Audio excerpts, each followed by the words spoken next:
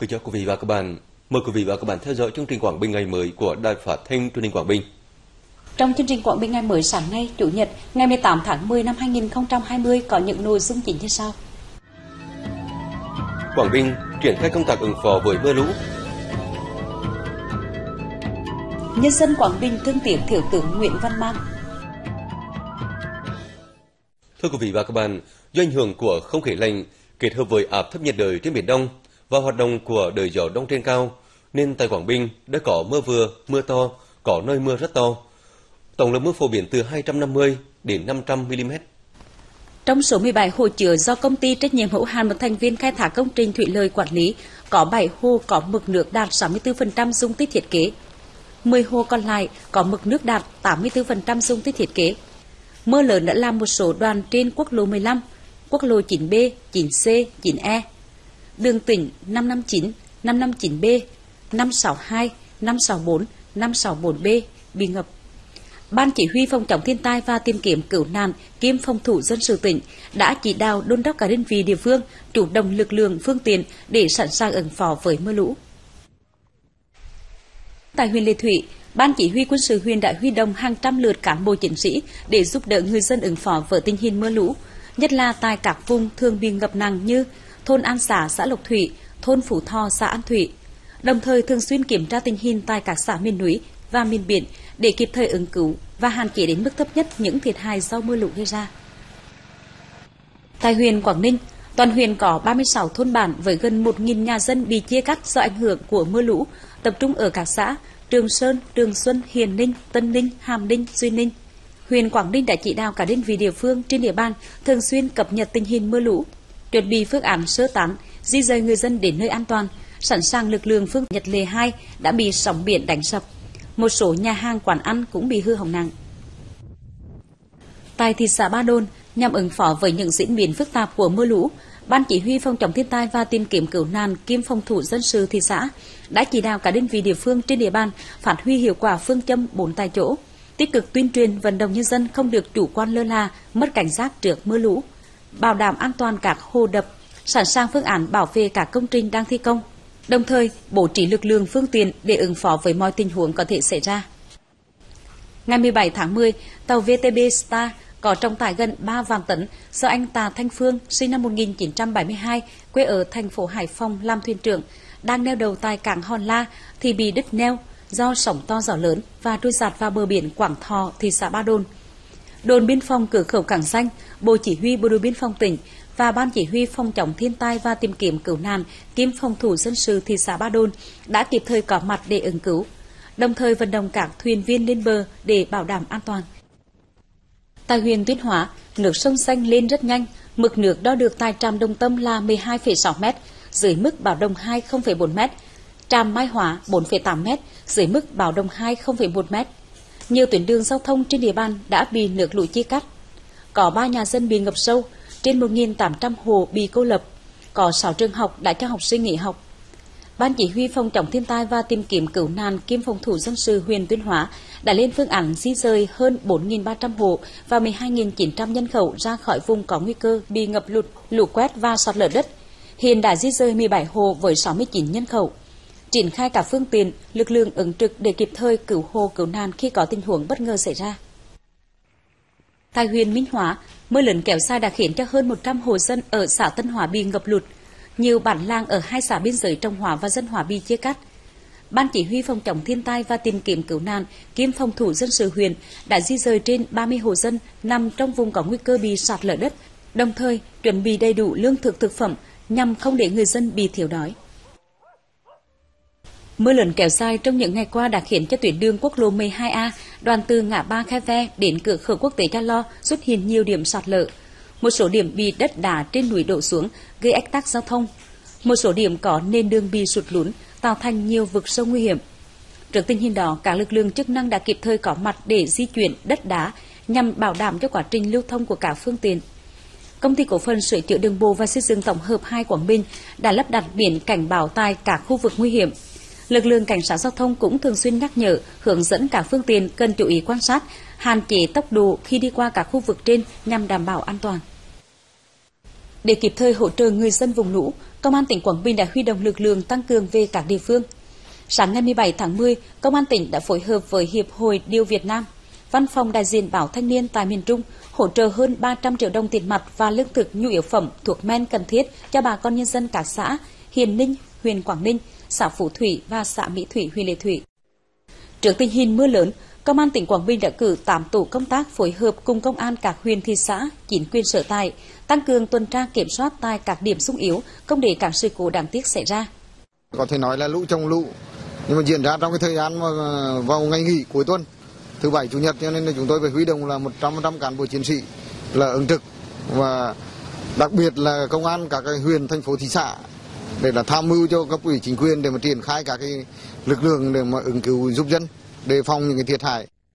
Công an tỉnh Quảng Bình cũng chỉ đạo công an các huyện, thị xã, thành phố tăng cường lực lượng, phương tiện bám nắm địa bàn, đồng thời chuẩn bị các nhu yếu phẩm, thiết bị cứu hộ cứu nạn để chủ động ứng phó trong mọi tình huống. Thưa quý vị và các bạn, ngày 16 tháng 10, Ủy ban Mặt trận Tổ quốc Việt Nam tỉnh đã tổ chức tiếp nhận ủng hộ khắc phục hậu quả do lũ lụt từ cả doanh nghiệp đơn vị hảo tâm. Cụ thể, Ngân hàng Nông nghiệp và Phát triển nông thôn Việt Nam chi nhánh Quảng Bình ủng hộ 500 triệu đồng, Công ty cổ phần ô tô Trường Hải Thaco ủng hộ 500 triệu đồng, Công ty cổ phần đất xanh miền Trung ủng hộ 100 triệu đồng. Tại buổi lễ, lãnh đạo Ủy ban Mặt trận Tổ quốc Việt Nam tỉnh đã gửi lời cảm ơn trước những tình cảm của các doanh nghiệp, đơn vị hảo tâm và hứa sẽ trao tiền hỗ trợ đến tận tay cho bà con vùng lũ. Tập đoàn Mavin Úc tại Việt Nam vừa đến thăm và trao quà hỗ trợ cho người dân bị ảnh hưởng do lũ lụt tại tỉnh Quảng Bình.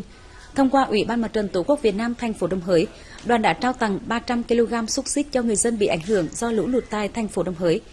Thông qua Hội chữ thập đỏ huyện Lệ Thủy, đoàn cũng đã trao tặng 700 kg cho người dân tại các xã bị ngập nặng trong đợt mưa lũ vừa qua. Đây là hoạt động có ý nghĩa thiết thực, góp phần động viên người dân sớm vượt qua khó khăn để ổn định cuộc sống.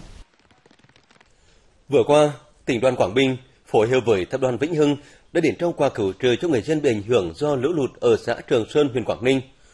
Đoàn đã trao 150 xuất quà với tổng trị giá hơn 50 triệu đồng, bao gồm các nhu yếu phẩm cần thiết cho người dân xã Trường Sơn.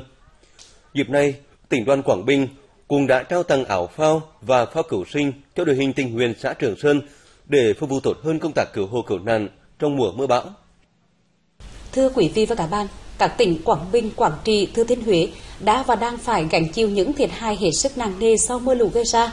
Trước tình hình đó, với tinh thần cứu dân là trên hết, quân khu 4 và tỉnh Quảng Bình đã huy động hàng ngàn cán bộ chiến sĩ cùng nhiều phương tiện kịp thời có mặt tại các điểm nóng để giúp người dân ứng phó và khắc phục hậu quả do lũ lụt.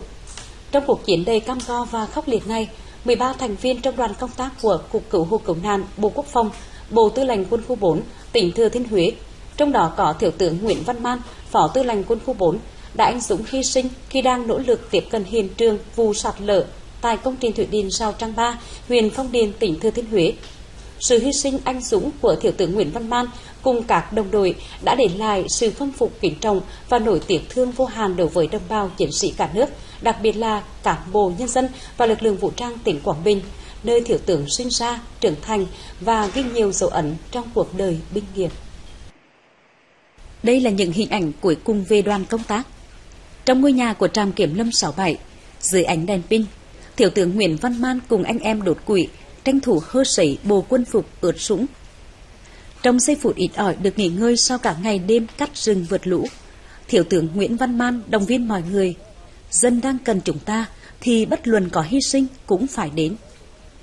Chính tinh thần sẵn sàng hy sinh vì cuộc sống bình yên của nhân dân đã thôi thúc Thiếu tướng Nguyễn Văn Man và các thành viên của đoàn công tác lên đường nỗ lực tiếp cận hiện trường trong thời gian nhanh nhất có thể nhằm triển khai phương án giải cứu 17 công nhân bị vùi lấp trong vụ sạt lở đất tại thủy điện Sao Trăng Ba.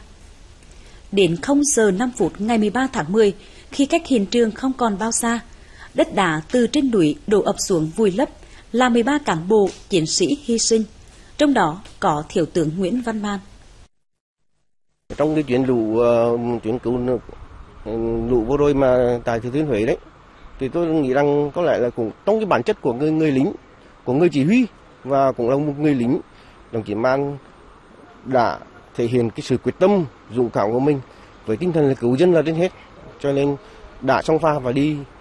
cùng đoàn hành quân vào trong đêm tối để mong rằng là làm sao có được những thông tin sớm nhất để có những giải pháp kịp thời nhất để cứu người dân. Đêm đó tôi có điện cho đồng chí à, phó tư lệnh quân khu để hỏi thăm tình hình bởi vì biết rằng anh đang là chỉ huy lực lượng trong lụt bão ở trong đó. Ừ, tôi muốn hỏi xem tình hình lụt bão thế nào và hỏi xem anh có ra dự được đại hội thi đua nước của tỉnh Quảng Bình vào sáng ngày 13 được không. Ờ, thì à, tôi à, nghe anh trả lời trong cái tiếng mưa bập bọm, điện thoại cũng không ổn định lắm, câu được câu mất. Nhưng anh còn nói là vì cái Ờ, nhiệm vụ đang phải thực hiện cho nên ờ, có thể là không không không ra được. Nhưng mà cũng không ngờ rằng đó là lần cuối cùng tôi nghe được tiếng nói của anh tuy rằng không được rõ lắm qua điện thoại và cũng là lần cuối cùng anh mãi mãi không về với được tỉnh nhà và thăm anh em của tôi thăm quê hương. Thiếu tướng Nguyễn Văn Man, sinh năm 1966 tại thành phố Đồng Hới, tỉnh Quảng Bình. Tròn 35 năm học tập rèn luyện trong môi trường quân ngũ, đồng chí đã trải qua nhiều vị trí công tác, chức vụ khác nhau, từ chiến sĩ đến phó tư lệnh quân khu 4. Dù trong bất cứ hoàn cảnh nào, cương vị nào, Thiếu tướng Nguyễn Văn Man cũng luôn được các đồng chí đồng đội kính trọng và khâm phục. Đặc biệt, trong thời gian gần 4 năm giữ chức vụ Ủy viên Thường vụ tỉnh ủy, Chỉ huy trưởng Bộ Chỉ huy Quân sự tỉnh Quảng Bình, đồng chí luôn nỗ lực hết mình cùng tập thể đơn vị thực hiện tốt công tác tham mưu, lãnh đạo chỉ đạo, triển khai có hiệu quả các nhiệm vụ quân sự quốc phòng. Dưới sự chỉ đạo trực tiếp của đồng chí Nguyễn Văn Man, lực lượng vũ trang Quảng Bình đã đạt được nhiều kết quả nổi bật, được Bộ Quốc phòng, Bộ Tư lệnh Quân khu 4, tỉnh ủy, Ủy ban nhân dân tỉnh Quảng Bình biểu dương khen thưởng. Trên cương vị là đại biểu Quốc hội khóa 14 thuộc đoàn đại biểu Quốc hội tỉnh Quảng Bình, Thiếu tướng Nguyễn Văn Man đã trở thành cầu nối giữa cử tri với Quốc hội. Trong mỗi đợt tiếp xúc cử tri hoặc thảo luận trên diễn đàn tại các kỳ họp của Quốc hội, Thiếu tướng Nguyễn Văn Man đã có nhiều đề xuất về các chính sách hỗ trợ người nghèo, đồng bào dân tộc thiểu số, gia đình chính sách. Thực hiện nhiệm vụ trên địa bàn phải chịu ảnh hưởng do thiên tai, Thiếu tướng Nguyễn Văn Man luôn có mặt tại các điểm nóng trong mưa bão để kịp thời ứng cứu, giúp đỡ nhân dân. Thủ tướng Man là một người rất sống sáo, nhiệt huyết, dám luôn đi đâu trong vào những cái vùng khó khăn, vùng nguy hiểm, trong trong trong những công tác của cứu nạn trong lũ lụt lũ lụt thì đồng chí lúc nào cũng là đi trước và để mà ừ, kiểm tra và để mà sẵn sàng để mà có những cái phương án để chỉ đạo công tác khắc phục của hộ cứu nạn.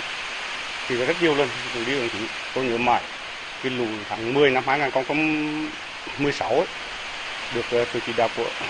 của ủy ban nhân tỉnh bộ giao bộ chỉ huy quân sự tỉnh là khắc phục ờ, cứu hộ cứu nạn. Cái đoàn tàu SE 19 ở tại ga Lê Sơn. ấy là đồng chí là sáng trải lên chuyến tàu đầu tiên. Mà tôi là người phục vụ lại về cái đồng chí đồng chí chính chóng ra lệnh là phải bằng mọi giá phải tiếp cần được cái ra lệ sơn trong lúc này lũ chảy rất chết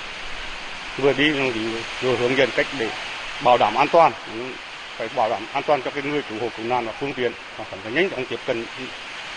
nhân dân trên cái đoàn tàu. Và cũng là người đầu tiên đồng chí là là người đầu tiên là bước chân lên thì ga Lê Sơn để là người cũng là tiếp xúc để thì hành khách cái ta ở đây thì qua sự chỉ đạo của đồng chí trong buổi chiều ấy thì là toàn bộ lực lượng của bộ chỉ huy quân tỉnh đã cứu hộ cứu nạn thành công cái tàu ở đây 19 tại ga Lê Sơn. Trong công việc, Thiếu tướng Nguyễn Văn Man là người quyết đoán, sáng tạo, gương mẫu, dám nghĩ, dám làm, dám chịu trách nhiệm. Còn trong cuộc sống đời thường, Thiếu tướng Nguyễn Văn Man luôn được mọi người hết mực kính trọng, yêu mến bởi đức tính giản dị, gần gũi, luôn quan tâm, thương yêu đồng đội như người thân trong gia đình. Sự hy sinh quả đột ngột của Thiếu tướng Nguyễn Văn Man đã làm cho gia đình, người thân, đồng đội, bà con lối xóm và người dân của tỉnh Quảng Bình bàng hoàng đau xót, tiếc thương một vị tướng có tâm, có tâm, đức độ và hết lòng yêu thương bộ đội. Đây là một kinh nghiệm rất là là đau buồn về cái sự mất mát của đồng chí đấy. Nhưng mà chúng tôi thấy đó là một cái sự hy sinh rất dũng cảm ừ, với tinh thần là của người lính của người bộ đội cụ hồ ờ, trước nhân dân. Tôi được gặp gỡ trao đổi công việc với thiếu tướng Nguyễn Văn Man trong các cái cuộc hội, hội nghị tiếp xúc cử tri quốc hội. Bản thân tôi thấy thiếu tướng Nguyễn Văn Man là người sống hiền lành chất phác luôn tràn hòa và gần gũi hết lòng vì nhân dân. À, trong công việc thì luôn tận tâm trách nhiệm và đầy tâm huyết à,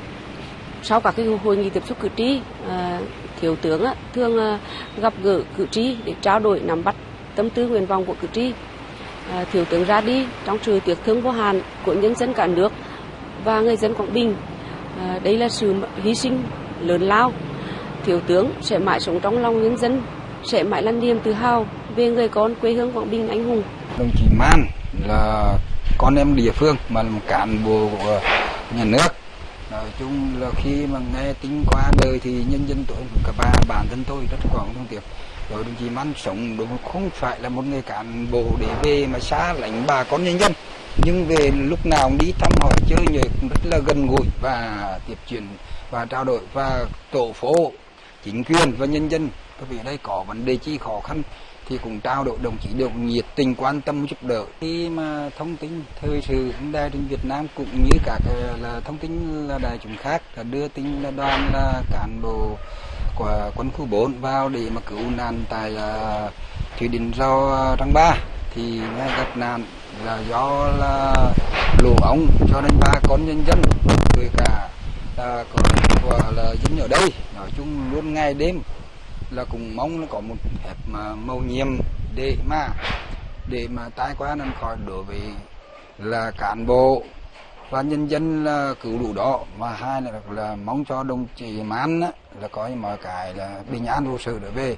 Ở chúng ba con đêm nào ngày nào cũng mong muốn. Nhưng đến khi mà biết tin là là là đồng chí man, là con em trong địa phương là mất, là đoàn cứu trợ đã đã là coi như là tìm ra. Nhân dân ở đấy rất thương xót quý mến, đối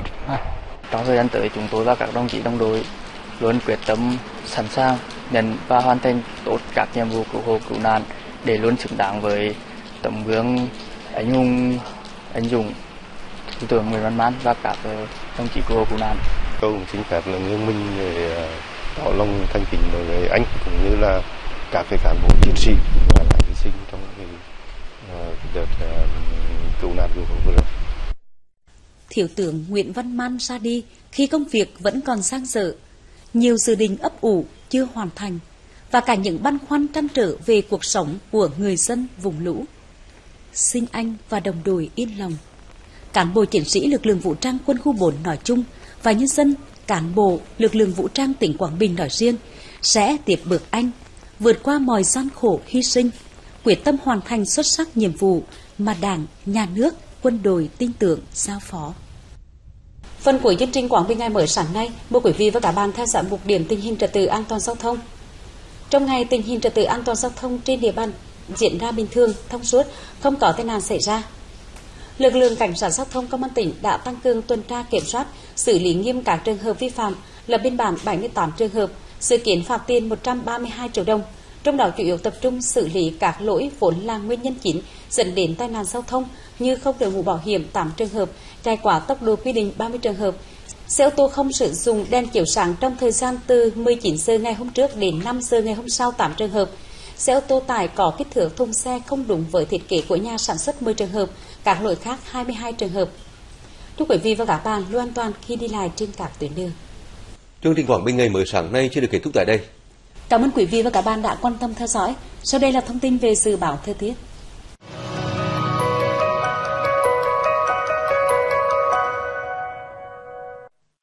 Dự báo thời tiết ngày 18 tháng 10 năm 2020. Khu vực thị trấn Đồng Lê nhiều mây có mưa to, có lúc mưa rất to, nhiệt độ từ 21 đến 23 độ, độ ẩm 95 đến 97%. Khu vực thị trấn Quy Đạt nhiều mây có mưa to, có lúc mưa rất to, nhiệt độ từ 21 đến 23 độ, độ ẩm 95 đến 96%. Khu vực thị xã Ba Đồn nhiều mây có mưa vừa, có lúc mưa rất to, nhiệt độ từ 23 đến 25 độ, độ ẩm 87 đến 92%. Khu vực thị trấn Phong Nha nhiều mây có mưa to, có lúc mưa rất to, nhiệt độ từ 21 đến 24 độ, độ ẩm 93 đến 97%. Khu vực thị trấn Hoa Lão nhiều mây có mưa mưa vừa, có lúc mưa to, nhiệt độ từ 23 đến 25 độ, độ ẩm 89 đến 93%. Khu vực thành phố Đồng Hới nhiều mây có mưa mưa vừa, có lúc mưa to, nhiệt độ từ 23 đến 25 độ, độ ẩm 88 đến 91%. Khu vực thị trấn Quảng Hào nhiều mây có mưa mưa vừa, có lúc mưa to, nhiệt độ từ 23 đến 25 độ, độ ẩm 88 đến 95%. Khu vực thị trấn Kiến Giang nhiều mây có mưa mưa vừa, có lúc mưa to, nhiệt độ từ 23 đến 25 độ, độ ẩm 89 đến 92%. Dự báo thời tiết biển có mưa rào và rông, trong cơn rông đề phòng lốc xoáy và gió giật mạnh, tầm nhìn xa từ 4 đến 10 km, gió đông bắc cấp 6 cấp 7, giật cấp 8, sóng biển cao từ 2 đến 4 m, biển động mạnh. Dự báo thời tiết đêm 18 ngày 19 tháng 10, nhiều mây có mưa vừa đến mưa to, có nơi mưa rất to và rông. Gió đông bắc cấp 3, cấp 4, vùng ven biển cấp 4, cấp 5, nhiệt độ từ 20 đến 25 độ, độ ẩm từ 90